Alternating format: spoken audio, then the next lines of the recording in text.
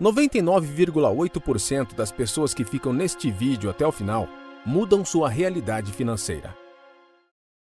Costumamos pensar em nossa tradição que se algo que você gosta aparece em sua vida, você não deve atrair para si. Mas quando algo que você não gosta aparece em sua vida, ao invés de a rejeitar, você deveria atrair para si. Fazemos isso porque em nossa cultura acreditamos que quanto mais você deseja algo, mais esse desejo se afasta de si, ao mesmo tempo que quanto mais você rejeita algo, mais você o atrai para a sua vida. Tudo se trata de uma questão de tempo até que aquilo que você afastou comece a se aproximar de si. Você só precisa olhar em volta para não perder as oportunidades. Desde o momento em que você nasce, sua inspiração e expiração é exatamente 50-50. A quantidade de dias e noites é 50-50.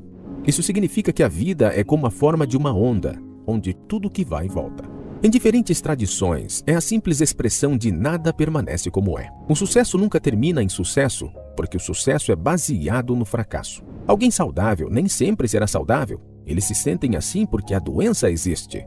Um homem rico nunca será rico para sempre. Só é rico agora porque a pobreza também existe.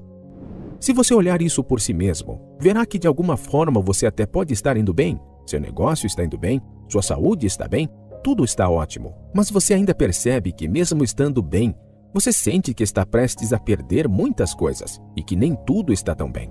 Isso ocorre porque, da mesma forma que existe o êxito, também existe as chances de falhar. Quando tiver esse sentimento de algo está errado, reinvista sua energia, se alavanque para cima e observe seu desenvolvimento. Você possui as habilidades, o conhecimento e sabe como fazer isso acontecer. Se você colocar suas habilidades em prática, irá alcançar tudo o que deseja. Tenha paciência que não importa o que você tente, você terá momentos de fraqueza. Às vezes o controle escapa de nossa mão e complicamos ainda mais nossa situação quando na verdade podemos resolver tudo com base na simplicidade. Isso tudo nos leva a um questionamento.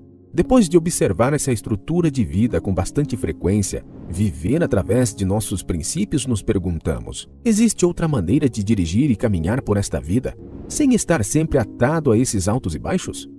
A resposta é sim. Tudo se trata do momento, do agora. É tudo uma questão de anexar seu momento, seja ele bom ou ruim, à harmonia, equilíbrio e estabilidade que está ao redor de sua vida. Isso significa que você deve sentir a sua vida em cada momento. Você deve perceber dentro de você o sentimento da sua vida e de tudo o que você faz. Faça isso, mas com cautela para que seus sentimentos internos não tenham grandes alterações. Quando falo que você deve sentir a vida e seus momentos, é para você aproveitar o que lhe ocorre. Não digo que você deve necessariamente se entusiasmar ao máximo com isso. São poucas as coisas na vida que merecem 100% do esforço, porque tudo na vida nos suga energia. Você precisa ter controle de seus sentimentos. Seja grato, aproveite os momentos, mas não se perca naquilo que sente. Pratique como sentir determinadas coisas. Não deixe que seus sentimentos te dominem. Nenhuma pessoa alcançou a glória sendo levado pela emoção mas vários conseguiram ultrapassar seus limites controlando seus sentimentos. O melhor ponto de saber controlar suas emoções é porque as frustrações não os abalam tanto e as opiniões negativas não interferem em nossas vidas. Se você não controlar sua emoção e alguém te dizer que seus projetos não darão resultados, você será afetado, se sentirá triste e desesperançoso. Mas se seus sentimentos estiverem sob controle, você não vai se decepcionar. Ninguém vai te derrotar você vai permanecer invicto. Este é um dos principais passos para aprender se o seu desejo é subir na vida. Isso não significa que você não pode exibir expressões e sentimentos. Seja feliz e expresse seus sentimentos. Esse não é um problema, mas você deve aprender a controlar isso. Além disso, quando você controla o que sente, você cria confiança, sabe que pode alcançar tudo nessa vida e seu foco se mantém forte.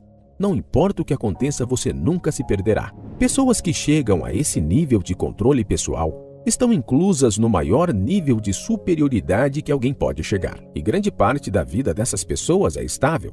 Ter estabilidade na vida é outra recompensa recebida através do controle total de suas emoções. Uma pessoa estável sabe seu valor e tudo o que passou para chegar onde chegou. Não importa os elogios que você dê a ele, ele permanecerá estável. Da mesma forma, não importa o quanto você o insulte, você não pode intimidá-lo, porque ele sempre permanece em um estado estável. Ele é imutável.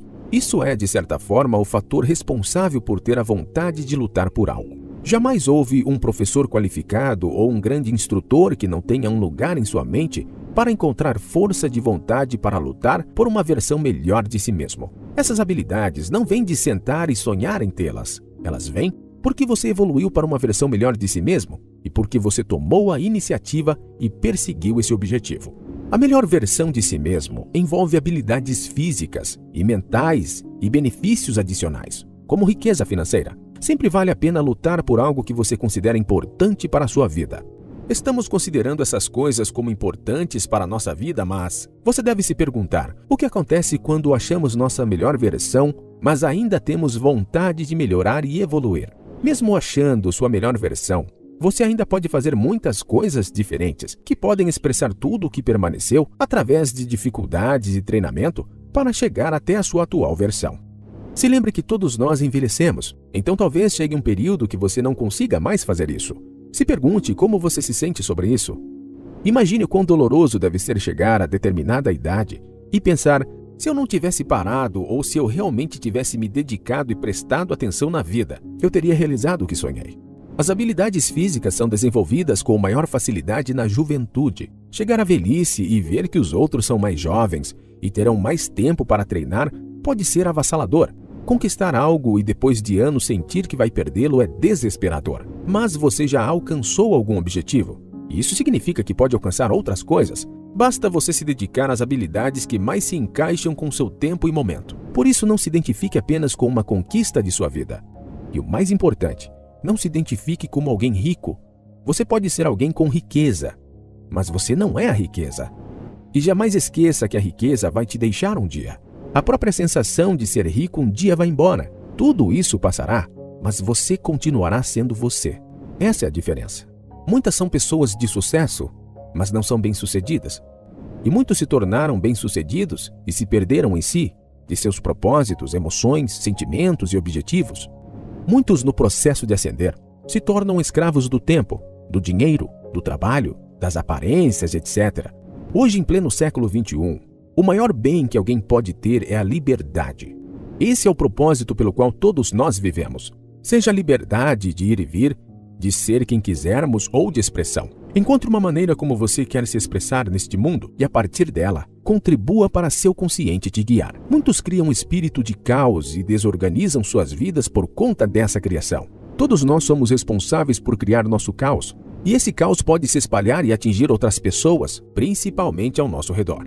Portanto, quanto mais pessoas estiverem causando caos, mais espírito de desestrutura, instabilidade e desordem devem existir no mesmo período de tempo. Não temos que ser todos iguais, mas se todos focam no bem, na positividade e nas coisas boas, o mundo teria um espírito diferente.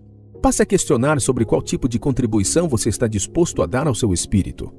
Comece conhecendo suas habilidades, sendo responsável e gentil consigo mesmo. Sinta graça pela vida, pelos seus pais, por quem você é e pelas pessoas que atrai.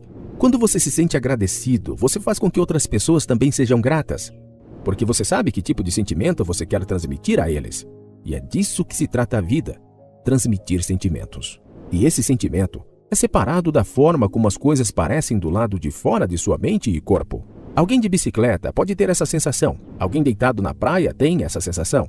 Quem pratica artes marciais tem essa sensação. Alguém que apenas grava um vídeo ou faz uma filmagem tem esse sentimento. Não é o que se vê de fora que importa. O valor de tudo é o sentimento que está por baixo de tudo isso. E essa é a única coisa que todas as pessoas do mundo possuem em comum. Através dos sentimentos, aprendemos a maneira correta de viver e alcançar o que sonhamos.